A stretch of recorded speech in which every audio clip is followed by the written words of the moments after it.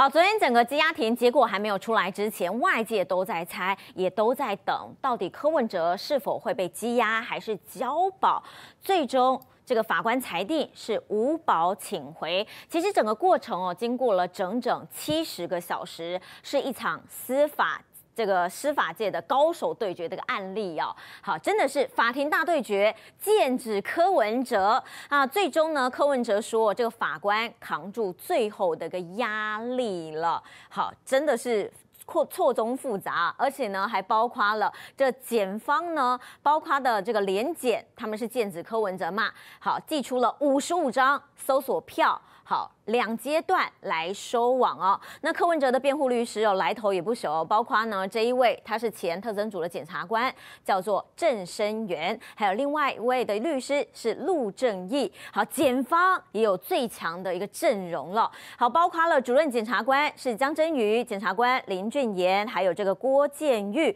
好，上周这个检方最坚强阵容哦，他们一口气申请了五十五张的搜索票，分两。阶段来收网，先是声押了微金集团的主席沈庆金，市议员应小薇获准之后，然后马不停蹄，剑指台北市的前市长柯文哲，还有前副市长彭振声。除此之外，检方这一回哦，有所谓的北检神秘端股在线哦，不只是办这个金华城案，还查了。这个针对总统大选政治现金案、北市科地上权案，好，还有雨果市场、南港转运站的这个 BOT 案等等哦。那当然啦，柯文哲他说这一次真正辛苦的人是法官，他说法官扛住最后的压力。法官是谁呢？我们也把他照片截出来了，就是这一位，他号称是这个北检的刘德华，好，他的名字。叫做朱家义，就是昨天开呃，昨天晚间八点开这声押庭的法官，好，就是这一位了。那柯文哲特别感谢他哦，他说呢，这一次真正辛苦的是法官，扛住最后的压力。好，那这样当然啦，朱家义呢，呃，朱家义他资历也很深呐，他是台北地方法院强制处分专庭资深法官，台大法律系毕业，政治大学智慧财产研究所的硕士哦，为人很低调，外界评价他哦是作风稳健谨慎，行事。值得信赖哦。那尤其呢，他过去也办过一些很辉煌的案件，比如说四年前他曾经这个要审理立委收贿案的时候，他也进行了马拉松式的开庭五十三个小时，在期间他每天呢只睡三到五个小时，利用短暂的休庭时间进行这个呃吃东西，还扛着是否要羁押、限制现任立委自由的庞大压力，最后。他当时裁定了苏正清、廖国栋、陈明超三位时任立委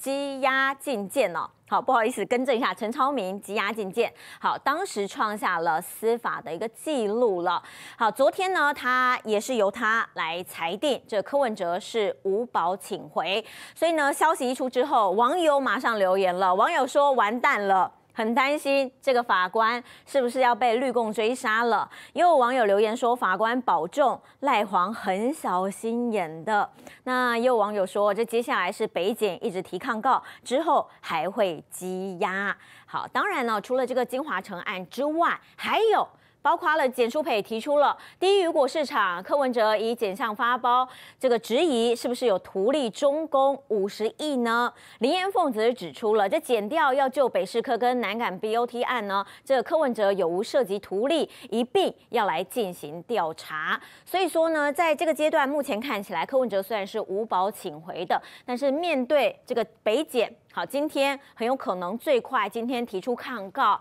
然后刚刚特别提到很多人点名其他案件，好，政治现金案、北市科案、雨果市场、南港 BOT 案，后头这些案子都还在等着柯文哲一一的说清楚了。好，那在这一次的过程当中哦，徐小新也表示了，北检从过去到现在是劣迹斑斑，不论是政治办案的氛围太重，还是明明侦查不公开，却会。特地泄露消息给一些特地的媒体，这些事情到今天还正在上演。他说：“难怪民众党现在要把这起案件升级成为司法迫害。”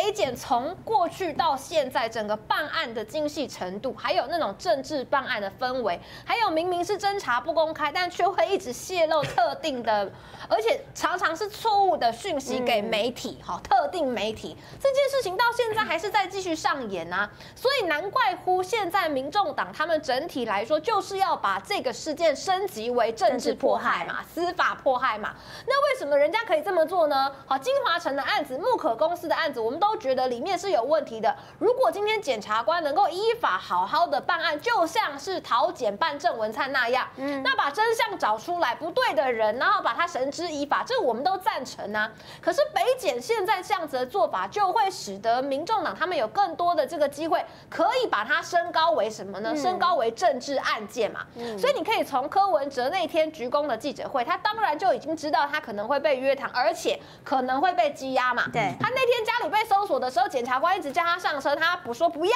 我要讲完话才要走，什么意思？他就知道后面他可能也会被面临到羁押的风险嘛。甚至他在当时侦讯的时候，他说前面都在问木可公司的案子，然后呢，他就是反正他觉得与本案无关，那他也没有拒绝回答。可是被问到金华城案的时候，他就说他累了，他要走了。他难道他跟他的律师不知道他会这样会可能被逮捕吗？当然知道嘛。但就是你金华城的案子，如果还没有对出金流，拿出确切一刀毙命的证据，你就逮捕了柯文哲，不管是什么理由，他当然对他的支持者而言，就有一种巩固的力量，更可以把它作为司法迫害的升级版。尤其是过去北检是劣迹斑斑的情况之下，所以北检自以为聪明，他是不是也落入了柯文哲他们整体诉讼的一个圈套当中呢？柯文哲他包含是他的这个政治现金的呃这个账目不清，木可公司是不是成为了民众党的党营企业，以及金华城的百分之二十额外的容积奖励是否合理？然后还有中间所谓有没有收受不正当的呃这个汇款，这四件事情来做讨论嘛？结果怎么会变成在讨论是一一百七十万还是七百万呢？对，今天容积奖励如果放宽了百分之二十，是为了要。呃，这个是收汇的话，是汇款的话，你觉得有可能是一百七十万吗？那宁小薇的账户里面都出现四千五百万、四千七百万了嘛？所以这就会让很多的民众开始怀疑北检的办案。民众党他们的诉讼策略是，这是一起司法迫害。所以就算是柯文哲要去坐牢，没没有办法交保出来，然后呢，甚至你要让他交保，他也继续坐在那边，他就是要跟你对赌，你手上没东西，你手上没有一刀毙命的证据。大家都说我变漂亮了，其实是气色好，肌肤保湿做得好，气色自然漂亮。我选择 KS 皇家呵护芦荟保湿舒缓凝胶，因为它用国际芦荟协会认证高品质的库拉索芦荟，含有大量的粘多糖体，类似于玻尿酸，可以帮助锁住皮肤水分，让肌肤长时间保持水嫩，还运用 TTS 技术增强芦荟的生物活性，修护舒缓日晒后的各种不适。KS 皇家呵护芦荟保湿舒缓凝胶，帮助您随时拥有水润肌、好气色。呵护您，呵护全家人，专属你的 KS Royal Care。